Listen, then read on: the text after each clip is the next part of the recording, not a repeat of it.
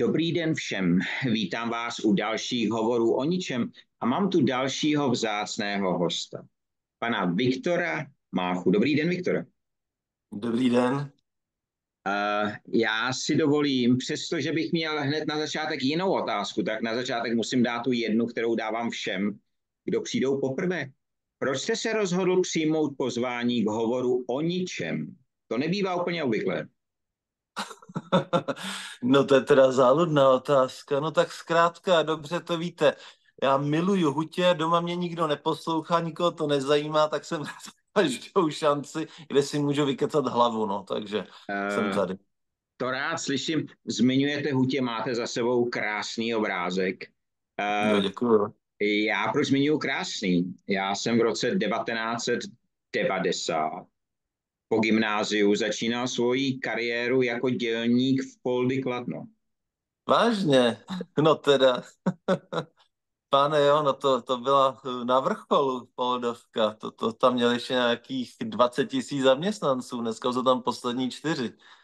Přesně tak. A teďko aktuální klient největší jsou Třinecké železárny. No. S a úplně něčím jiným, ale a, a můžu vám říct, že když jsem po těch téměř 30 nebo více než 30 letech vstoupil do těch třineckých železáren a jenom se nadechl, to byla jak okamžitá cesta časem. Taky to tak máte, že vstoupíte, stačí si jenom, jste tam. Už jste no někde... přesně. Přesně, ono se i říká, že ta eh, čuchová paměť je nejsilnějším receptorem, takže ano, pochopíte, jako kdy, kdykoliv ucítím závan mazutu nebo okují nebo čehokoliv, tak jsem říji. Uh, jak se to u vás stalo? Bylo to vždycky ta láska k tomu, nebo přišel nějaký okamžik, který vás prostě dostal do toho ocelářství ve smyslu toho, co děláte a k tomu se ještě dostaneme? No tam byly takový dva um, momenty v mém životě, oba poměrně v raném věku. První z nich byl, když mi bylo nějakých devět a rodiče mě vzali do dolu Měděnec v Krušných horách. Tehdy se tam ještě dalo fárat, protože těžba ještě fungovala. A rodiče mi chtěli ukázat tu hrůznost manuální práce, abych se jí držel dál. No ale hned jak jsme sfárali na nějaké deváté patro, a já jsem tam viděl ty oblaky eh, kouře, no, no, kouře, oblaky dýmu a hluk pásových dopravníků a ty zamazaný havíře, tak mě to úplně pohltilo. Jo. To bylo naprosto magický. A druhý moment byl, když jsme jeli do Beskyt a eh, na otce um, přišla nějaká biologická potřeba si odskočit a projížděli jsme kolem Třineckých železáren on zastavil tak šikovně hned na břehu, břehu řeky Olše a zatímco konal, tak já jsem sroloval okýnko a hned za řekou se tyčila do nebe vysoká pec číslo čtyři. Jo, a to bylo něco tak, eh, to, to byl vlastně až jako religiozní zážitek, jo, protože já jsem vůbec nevěděl, co to je, eh, co se tam vyrábí, k čemu to slouží. Ta pec na mě mluvila takovým neznámým jazykem, kterýmu jsem ale rozuměl a od té chvíle jsem věděl, že u tohohle musím být nějak přítomen v životě. To bylo naprosto, naprosto kouzelný a eh, ta, tam jako jsem a naprosto vzplanul doslova láskou k těžkému průmyslu. Uh, to je fascinující. Já vás totiž uh, na LinkedInu, kde jsme se potkali, tak já vás nevnímám jako oceláře, ale jako člověka, který zachycuje tu krásu, tu lásku, o které mluvíte do obrazu, do fotografie. A viděl jsem některé a jsou opravdu dech beroucí, i pro lidi, kteří o tom třeba nic neví, tak ten okamžik uvidí. Já teď jsem byl eh, třeba někde v části nějakého odpadového hospodářství a tam, já tomu říkám, eh, pekelná kuchyně.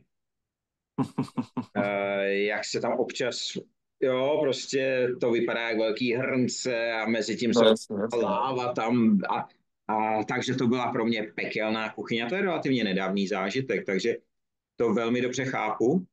A když jste se rozhodl vlastně to zaznamenávat do obrazu, že to, že to médium, já předpokládám, že když jste měl k tomu takhle blízko, i přesto, že úplně vůle rodičů to asi nebyla, že jste šel tím směrem, že jste ho následoval, ale v jeden okamžik asi nastalo to, já to budu zachycovat do obrazu. No ano, tady ten moment nastal někdy na začátku tohoto tisíciletí, asi v roce 2006, tuším. No ano.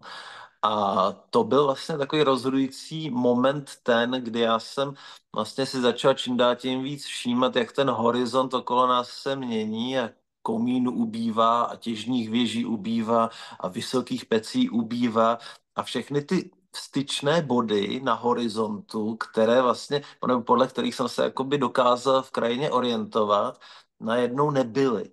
No a mně přišlo jako hrozně líto tady ten krásný svět úplně nechat na pospas bez nějakého, eh, bez nějakého eh, odpovídajícího záznamu vizuálního, no tak jsem si zkrátka dobře koupil první foťák a vyrazil jsem na nejbližší důl. To byl důl Zdeněk Nejedlí nebo taky Scheller na Kladně a tam to všecko začalo. Jo, já jsem nestudoval nic po, eh, ohledně fotografování, nic ohledně uh, těžkého průmyslu. To opravdu byla jako taková půdová záležitost, impulzivní, že pokud to neudělám já, tak to asi neudělá jiný, protože v té době opravdu uh, ty fotografie nebyly. Jo? Dal jste si třeba do vyhledávače, jak jste zmínil, třinecký železárny a bylo jenom pár fotek zvenčí a to bylo všechno. Jo, takže to, to, to jako mi nestačilo, takže jsem se prostě rozhodl v tom roce 2006 začít fotit. Není v tom žádný umělecký, um, nějaká umělecká intence nebo uh, podnikatelský záměr, je to čistě láska k těžkému průmyslu, uh, zhmotněná do podoby tady fotografií, aby, aby něco zůstalo. Mně se strašně líbí to, jak hovoříte vlastně o tom, že jste to vnímal jako součást té krajiny dle, a body, dle kterých jste se vlastně orientoval. Jo, protože pro mnohé, když se řekne těžký průmysl a komín, tak a vidí negativa, vidí ty věci okolo, přesto třeba těch komínů je spousta, zůstávají stát. Jsou země, kde, kde průmyslové komíny vlastně nejsou téměř, jo, a spoustu hmm. afrických zemí a tak dále. Mě to překvapilo, protože uh, sám před oknem svého bytu mám jeden komín, který celých těch 25 let je nefunkční a v rámci té své práce já vlastně vymýšlím, jak by mohly ještě fungovat. Jo. Uh-huh. Tam existují cesty, protože to jsou obrovské struktury a dneska díky novým technologiím a tak dále existuje spoustu způsobů, jak je využít. A právě takováhle mapa, takovéhle mapování vizuální si myslím, že by mohlo být velmi zajímavé ale i přesto, že říkáte, že na začátku vůbec nebyl vlastně ta intence toho uh, biznisového modelu, když to tak nazveme, budu fotit a budu z toho žít, uh, tak uh, já vím, že ty fotografie jsou často velmi žádaným a stávají se i korporátním vlastně jakousi korporátní identitou některých mm. okamžicích a tak dále. Jestliže jste začal v roce 2006, kdy jestli vůbec se to překlopilo do toho, ono to může i vydělávat. Pamatujete si no, to? E, to je tak záležitost posledních třeba pěti let. No, řekl bych, že, že pěti let a opravdu se jako překlopilo do, do stavu, že skutečně o tom můžu uh, hovořit jako o svém živobytí. Tak, to znamená, takže... ale 11 let jste vlastně šel za tím srdcem sbíral místo známek ty fotografie, ještě při práci, kterou jste dělal jinou samozřejmě, aby, aby nakonec tam byla, aby nakonec byl ten výsledek eh, toho zhmotnění i, i do té ekonomické stránky, když to tak řeknu. Tak, ale já jako musím dodat, že ta, ta, to srdce zatím je pořád, jo. To, to, že někomu se ty fotografie líbí a chce si je koupit, je takový jako fajn bonus, ale opravdu jako e, nebyla zakázka nebo objednávka focení, kterou bych dělal jako e, z nějaký finanční nouze. Je to všecko opravdu jenom řízený e, hlavně, hlavně tou, tou vášní. Jo. A, a to, že to prostě občas jako se promítne na bankovním účtu je super, ale není to jako... Já jsem to špatně řekl a jsem rád, že jste mě upřesnil, jo, protože já jsem toho názoru, že jestliže práci dělám a je jedno jakou, tak bych ji měl dělat tím srdcem primárně. Když to tam není, tak ano, dostanu plat, může to být i atraktivní plat, ale vlastně uh, ten smysl toho života v té práci nenaleznu. Jo, sice si jdu pro plat, ale, ale není to tam. Takže já jsem ani nepředpokládal a omlouvám se, že jsem tak špatně řekl, že v těch ne, ne, 11 letech to srdce bylo a pak to mohlo vyznít obráceně. Uh, vůbec tak to neberu. Ale zajímalo by mě, protože já neskoumám svoje hosty dopředu, jestli ta láska k tomu uh, těžkému průmyslu vlastně i se stala tím, co jste vystudoval a tím, co jste pak pracoval, protože jste musel nějak překlenout ten čas, kde jste si ve volném čase fotil a mezi tím vás něco ještě musel živit. No, tak eh, já jsem vystudoval teologii a religionistiku. A to je blízko, to je blízko do pekla. To je strojírenství, jak jsem to tam viděl, pekelná kuchyně. To je za rohem. Jo, těsně vedle. No, takže tak, no. Tak to, to byl takový další jakoby svět, který mě velmi fascinoval od mala. Já jsem vyrostl v katolické rodině a potom, když nastaly ty roky puberty a vzdoru, tak jsem si říkal, no tak jako buď se na to úplně vykašlu, nebo se na to zkusím podívat trošku jako víc do hloubky. No, tak jsem si prostě vystudoval teologii a religionistiku a uh, hned po přednáškách z dogmatické teologie jsem vyrážel někam na Válcovnu. takže takže uh, tak. To je zajímavý. Uh, co se co se tak standardně dělá po vystudování takové školy? Je tam, je tam velká pravděpodobnost, že zůstanete v oboru? Eh, no tak zrovna, zrovna jako u nás v zemi pišnící se nejvyšším počtem ateistů je to trošku problém po vystudování teologie a religionistiky buď z vás může být farář, což já jsem jako nechtěl, nebo z vás může být um, pedagogický pracovník na vysoké škole a přednášet to, co jste se celou dobu učil, nebo můžete uh, být nějakým uh, poradcem ve věcech nábožensko-kulturních, ať se to prostě týká diplomacie a dalších věcí. Takže jakoby to pole působnosti je poměrně široký, ale, ale hutě jsou hutě.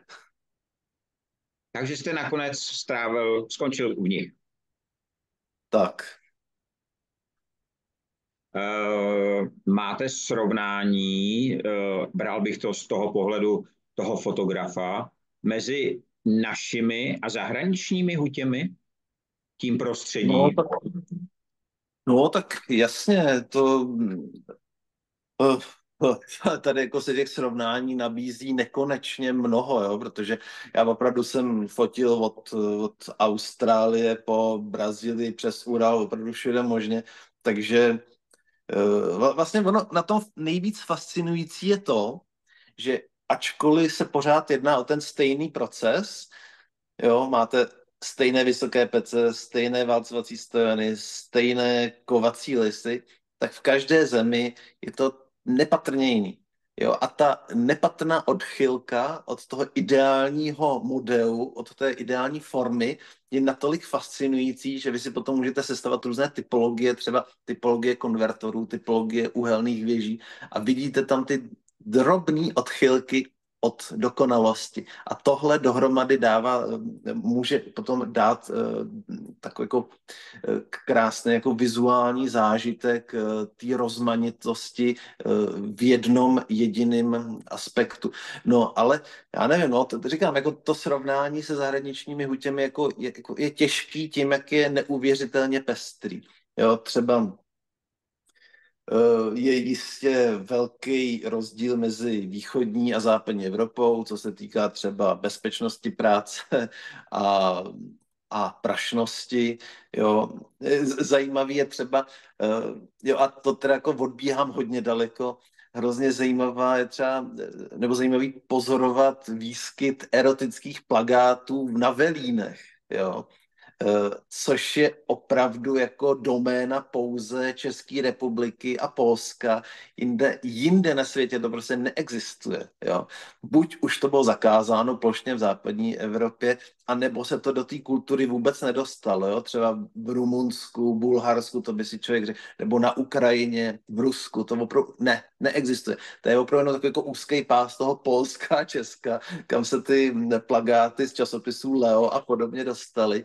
A, no a ty jsou úplně jako odbočil od, od metalurgie. Jo, ale, ale jako je to velice pozorhodný kulturní fenomén a myslím, že jednou uh, si to bude, si, si to zaslouží samostatnou nějakou diplomovou práci. No, ale...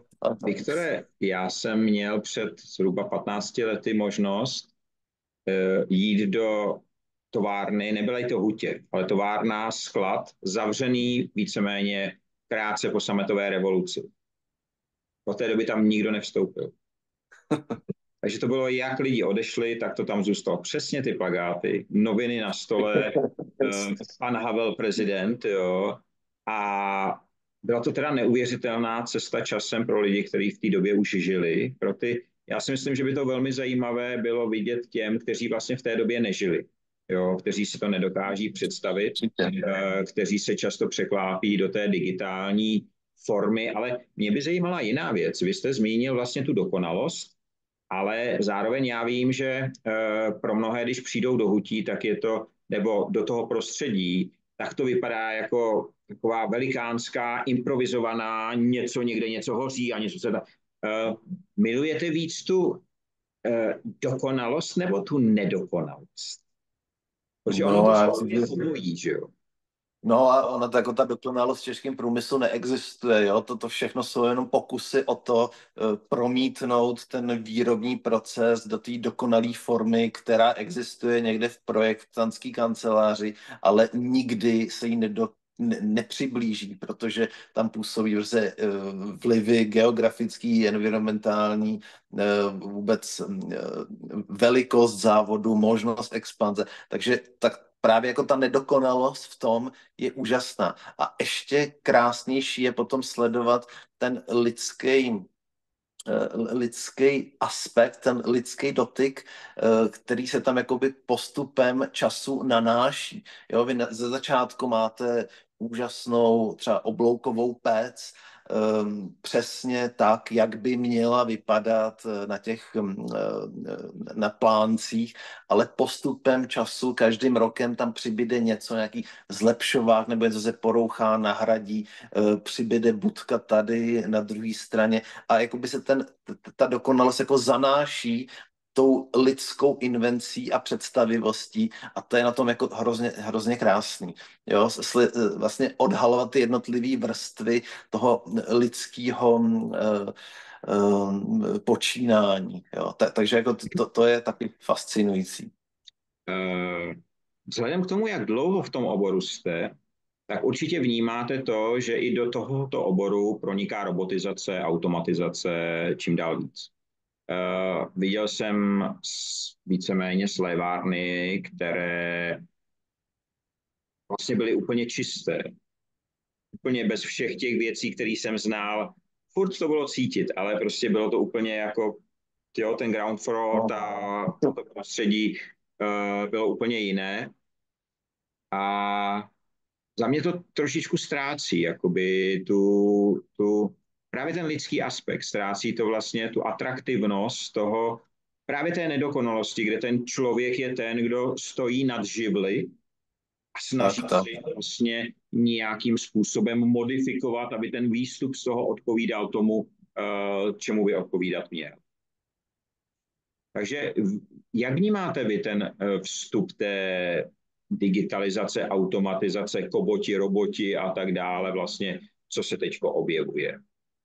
No tak musí to být, ale radost z toho nemám. No. To jako pokud u vysoký PC není spocený hutník v, v opáleném šatu, tak to prostě už je jenom uh, nějaký takový soběstačný stroj, no, to už jako mě úplně nebaví, no. To jako ta, ta práce prostě musí smrdět potem, no, to jinak, jinak už je to takový sterilní.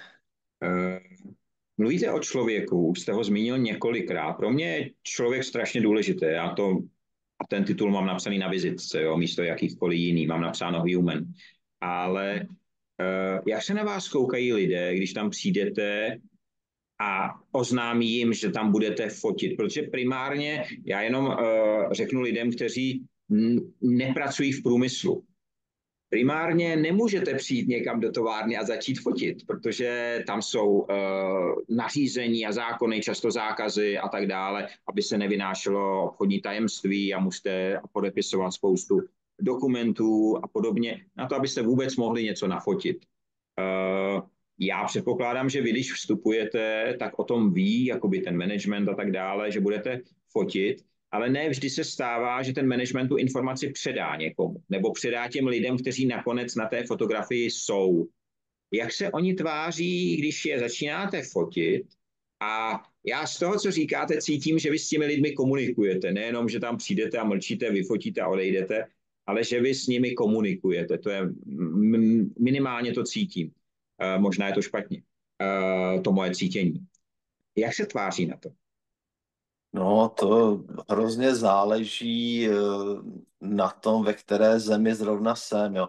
Tam je zásadní znalost jazyka a pokud je to země, kde většinová populace mluví nebo domluví se anglicky, německy nebo francouzsky, tak jako to jde.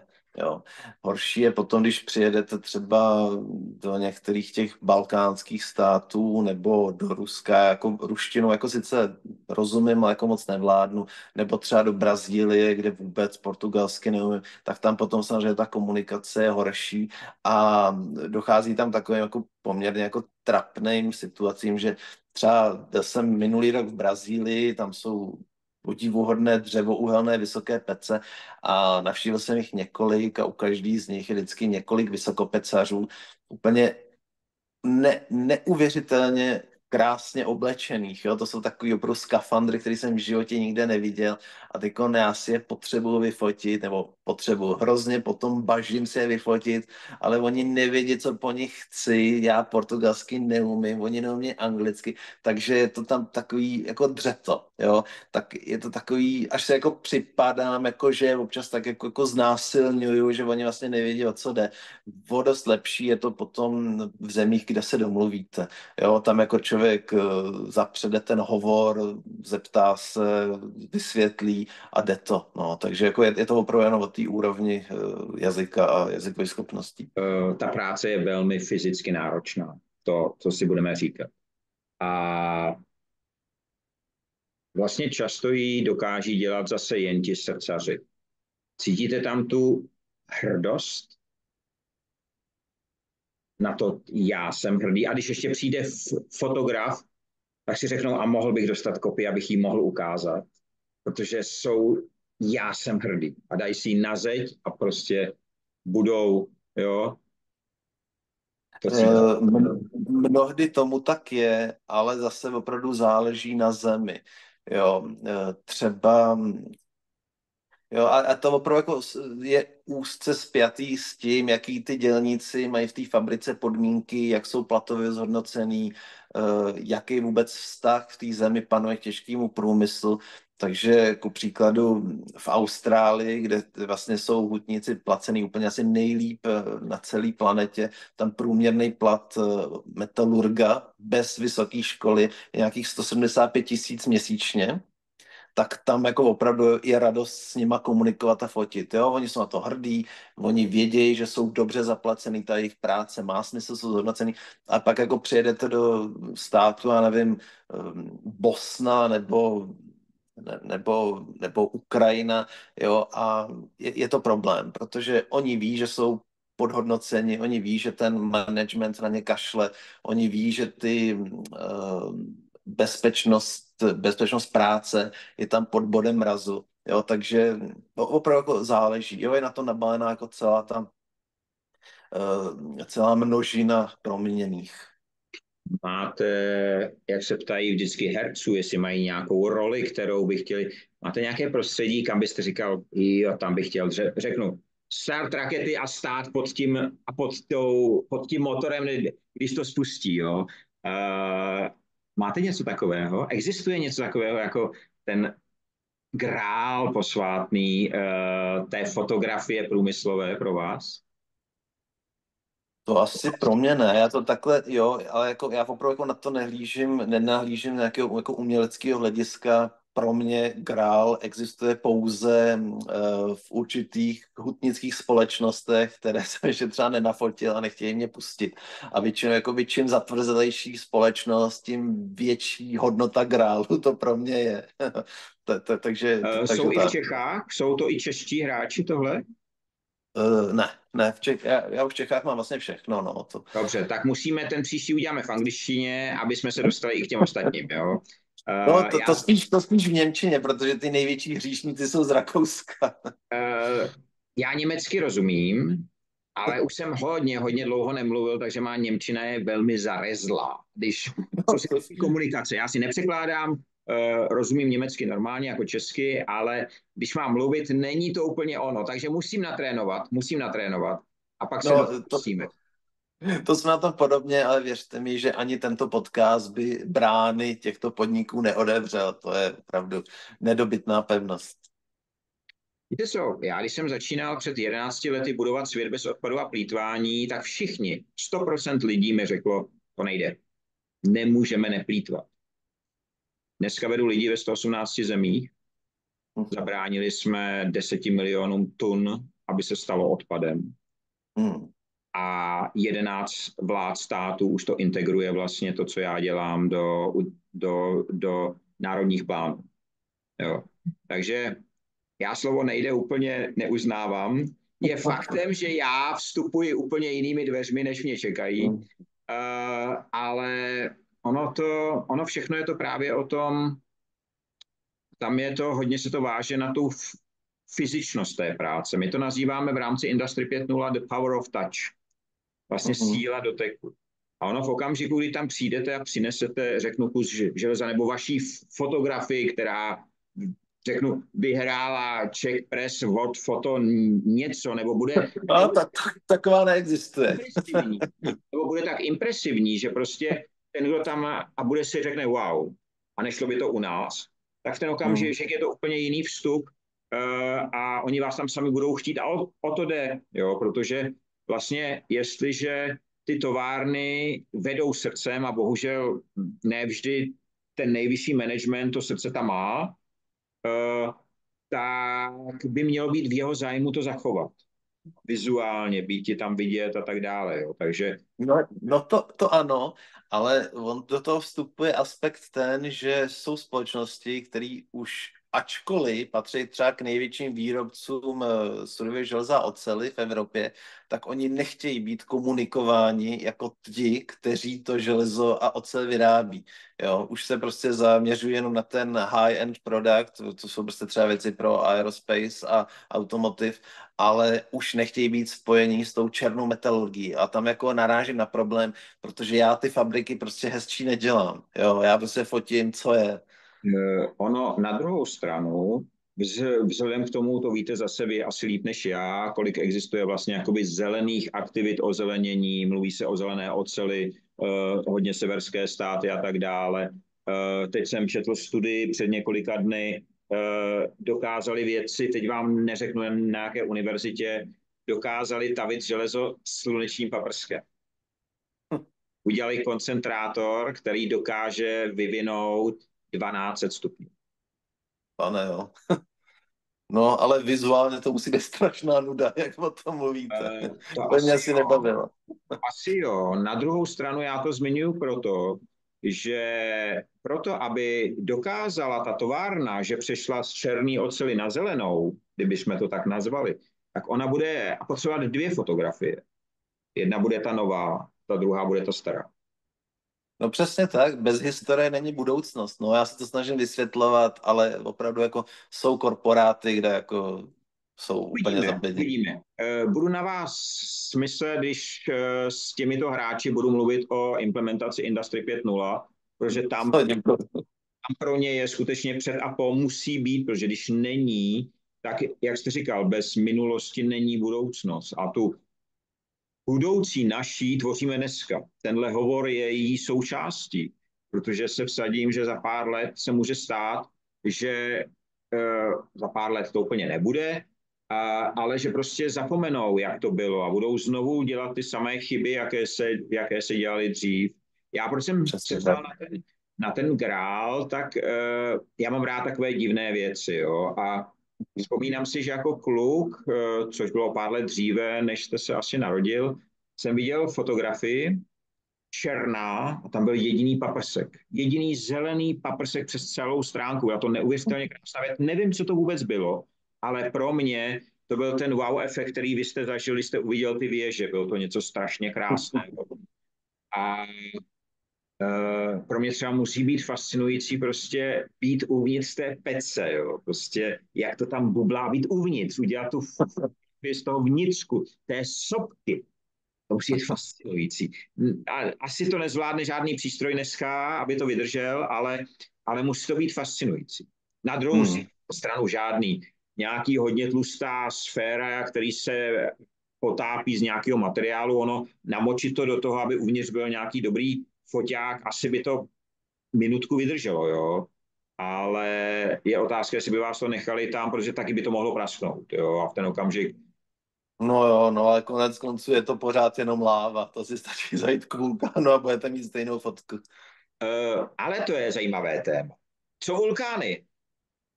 Co ta přírodní metalurgie? Hmm, má, málo trubek, málo vysokopecařů, nezájem. Hlavně vulkány tady budou a vysoký pece ne, takže to ať si fotí někdo jiný. No a co to zkombinovat? Co kdyby se užil vulkán k tomu, aby se ta... Co, co kdyby se užila energie vulkánu k tomu, abych na ní dělal to železo? No tak to provozují na Islandu, že jo? Tam jsou dvě ocele, nebo dvě slévany feromanganu a ty právě používají geotermální sílu k tavbě kovu. Takže tak, ale jsou jenom dvě, tak kvůli tomu na Island zatím nejedu, no. Co bych tam jiného dělal? Kdybyste jel, jeden z účastníků hovoru o ničem na Islandu žije, eh, aspoň Aha. myslím, že tam teďko je, pracuje, Aha. dělá průvodce dokonce, takže Aha. Eh, rád vás spojím. Eh, v každém případě, jenom abyste věděl, máme dokonce sedm minut, jo? takže už 33 minut mluvíme o ničem a je to fascinující hovor. Jak, vy, jak vypadají vaše dovolené? Je to tak, že si to vyhlížíte dle, dle hutí? No, tak uh, ono jako je třeba rozlišovat rodinou a mojí dovolenou, jo. Ty, ty rodinný dovolené, já mám tři děti, takže ty jsou takový jako smutnější, to je většinou bez hutí, ale třeba jako naposled jsme byli v Moravském krasu, tak jsem to aspoň spojil s návštěvou druhý slévárny Blansko, která je hned vedle Macochy, to bylo hezký. No a jinak jako moje pracovní eh, dovolený jsou takový, že opravdu jako se to snažím maximalizovat, takže já si otevřu svou aplikaci Google Earth a podle připínáčku v té které lokalitě prostě jedu, no. A musím teda získat povolení k focení, no. Takže můj takový jako standard je za pět pracovních dní udělat takových 8 až 10 železáren. To je tak jako, to je smysluplná dovolená. Uh ale tohle je bez toho uh, procesu získávání povolení. To je skutečně ten čistý čas. Tak, tak, tak. No, to, to, to, ten proces získávání povolení, to je jako na měsíce, někdy i roky. Takže jako není den, kdybych nějakou železárnu neobvolal nebo neobeslal. To je opravdu jako, já každý den v roce se snažím získat povolení někam. Jo, tak jako si to syslím, syslím, syslím a v momentě, kdy nasyslím třeba sedm povolení z Polska nebo sedm povolení z Brazílie nebo deset eh, z Austrálie, tak jedu. Uh, jak se tváří nebo tvářili na tuhle cestu vaši rodiče, kteří vás chtěli ukázat, že ta špinavá práce není tím pravým, a jak se tváří vaše děti? No, tak jako rodiče ze začátku to nesli dost těžce. Ty, ty mě, když jsem začal fotit, tak jako vůbec neměli pochopení pro to. Spíš jako mě pořád jako chtěli motivovat, abych třeba fotil zámky nebo, nebo nějaký přírodniny, že to jako má větší smysl a mělo by to třeba i větší ekonomický smysl. Ale s postupem let eh, zjišťují, že to teda uh, asi je dobře to, co dělám, takže jako mě v tom podporují, ačkoliv je to stále úplně jako nezajímá. Jo, to jako, já vždycky přijedu od někať, eh, třeba z Ukrajiny, s unikátními fotografiemi, doma to nikoho nezajímá, tak to je potom jako trošku, trošku demotivující. No a, um, a moje děti, tak uh, zajímavý je, že třeba syn, ten je vůči tomu úplně imunní, ale dcery naopak, ty to jako zajímá velmi. Uh, zejména tu starší, ty je 13 a ta jako se mě pořád ptá, kdy se mnou bude moc a takhle, takže tak, tak jako uvidíme, no, ono jako stejně potom počítač a všechny archivy spálej, pohádají se o majetky, to tak bývá v případě dědických řízení, takže uvidíme. Ale jako tento okamžik to vypadá, že aspoň jedna dcera k průmyslu inklinuje. To je krásný, protože ono, ono já si myslím, že v té lidské práci je ta budoucnost, není to v té, a bohužel žijeme my dva teďko v tenhle okamžik, jsme skutečně na hraně to, co všechno umí ta umělá inteligence a tak dále, jsme na hraně toho, jestli se poučíme z toho, co roku 1921 napsal Karel Čapek, RUR, nebo se staneme těmi nástroji a mnozí z lidí kolem nás už těmi nástroji těch přístrojů už jsou. Uh, s ohledem na to, jak máte rád tu fyzič, to, a to fyzično, Předpokládám, že umělá inteligence úplně není využívána, nebo takhle, není tím vaším cílem to nechat udělat. Nakresli mi huť uh, Mid Journey, která bude mít pět dělníků. To asi není, myslím, že ani nebude ta vaše cesta. No nikdy, tak jako já mám rád realismus, že jo, to je úplně mimo Mind Journey a podobné aplikace, to jako pro úplně mě míjí. Eh, já vím, že eh, průmyslové fotografie, viděl jsem některé krásné věci, kde vlastně ta krása toho průmyslu vyznívá v úplném detailu, úplném zaměření na, jed, na vlákínka něčo, nebo to. Uh, máte vy to také tak, nebo spíš víc impresiv je ten, ten obraz, který máte za sebou, ta, to peklo pro někoho, no. ale já právě jako na ty, na ty makrozáběry a detaily jako vůbec nejsem. Mě, mě to nebaví, protože eh, vyfotíte jeden detail hm, konty slitku nebo drátu a máte jako do konce života vystaráno, protože všechny ostatní budou stejný. Jo, ale mě jako zajímá ten celek a právě eh, v něm působení člověka. Uh, Viktor, já bych vám chtěl strašně poděkovat za to, že jste přijal tenhle hovor. No, rád se nás. Kromě toho, že jste uh, průmyslovým fotografem a mnohým dalším, tak jste o ničemos. Vy jste člověk, který se účastnil hovoru o ničem. A to není jen tak, ten titul není opravdu jen tak. A v angličtině se píše onichemos. Uh, zní to do španělsky, takže to je dobrý. Uh, v každém případě uh, je to proto, že uh, my chceme vytvořit i takzvanou Profusion Akademii, kde chceme přesně tuhle tu lásku k té práci, k tomu člověku, ten význam a tak dále vlastně sdílet s těmi ostatními. Takže hovory o ničem se většinou nevedou jenom jednou. Já budu rád, když budeme moci pokračovat. Strašně rád bych, a to záleží na vás, kdybyste vzal tu dceru, aby jsme ji vyspovídali. Proč? Proč? Jo, protože je ve věku, kdy už to rozhodování, ta moje už je starší, jo, ale je v takovém věku, kde si myslím, že bude strašně zajímavé slyšet ten názor. Jo. A i když tam nebude, já si myslím, že stále máme co, si co říct. Takže moc krát vám děkuju, protože už máme méně než minutu. Přeju vám krásný den bez odpadu a plítvání ve všech jejich podobách. Pevné zdraví, svobodu. A strašně se těším na další pokračování že zavítáme do toho pekla společně a zjistíme, že to je ráj. Děkuji za pozvání a budu se těšit. Já také přeju krásný den. Naschledanou. Naschledanou.